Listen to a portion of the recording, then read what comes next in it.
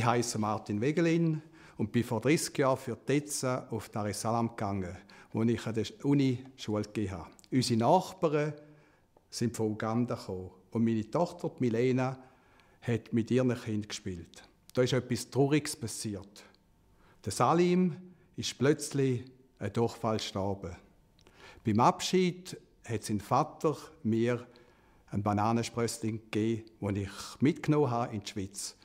Und der steht jetzt bei mir im Büro an der EAWAG am Wasserforschungsinstitut im ETH-Bereich und erinnert an meine Aufgabe.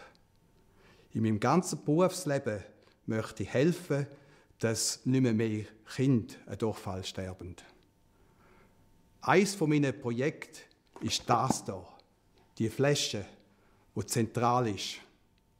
Eine Plastikflasche, die bei uns ein Abfallprodukt ist, aber in Entwicklungsländern eine wertvolle Sache ist.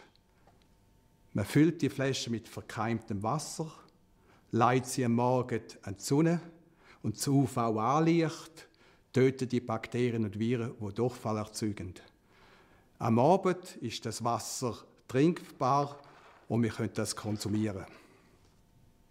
Es ist eine einfache Methode.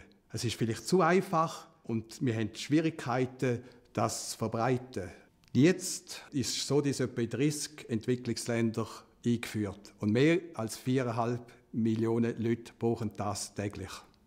Aber das ist ein Tropfen auf einen heißen Stein, wenn man vergleicht mit der Milliarden Menschen, die immer noch keinen Zugang zu gutem Wasser haben.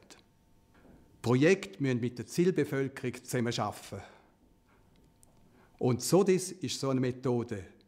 Unsere Partner arbeiten mit den Frauen und zeigen ihnen, wie man auf Haushaltebene das Wasser aufbereiten kann.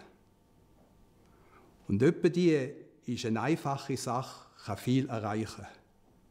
Und ihr habt jetzt vielleicht von dieser Flaschensonnenmethode gehört.